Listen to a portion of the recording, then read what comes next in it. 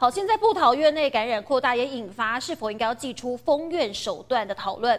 而二零零三年 SARS 疫情爆发的时候，台北市和平医院错误的封院决策，到底是谁下令的？又引起了政治口水。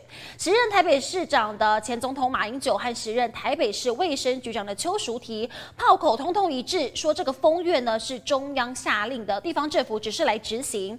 不过时任民进党扁政府的卫生署长涂醒哲就出面反。呛了，说马英九心中有鬼，卫生署发出的公文根本就没有提到封院两个字，会导致院内三十二个人染疫身亡，全都是台北市府的接管措施没有做好。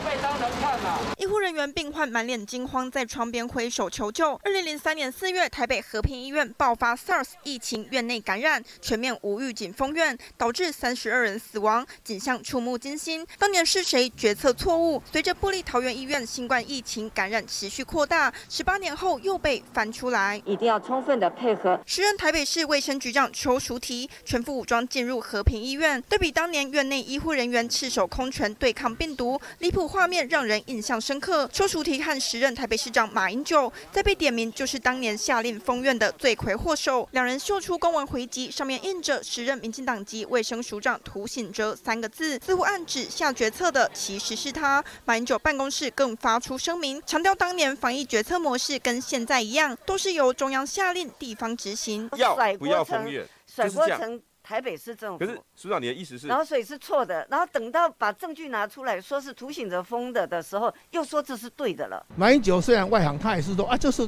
中央跟地方共同决定，没有错。后面是大家共同决定，没有错。错的是配套措施做不好，中央不发文才奇怪啊。这个是一定要发文的啊！涂宪哲反驳指控，表示是当时台北市府在第一线一团乱，拿出同样一份公文，表示从头到尾只要有台北市府进驻接管和平医院，根本没有封院这件事。他们故意把它拿公文出来，这心中有鬼。马英九是政治人物，所以他常常做这种事情，我们就不以为意了。因为他真的是外行，A 金川已经有跟他讲过，你都不要再出来讲话了嘛。双方各说各话，当年的抗煞经验，还是不少台湾人心中的惨痛记忆。如今面临新冠病毒再一次上演院内感染事件，当年的一纸公文继续各自解读。记者张全刘伟成台报道。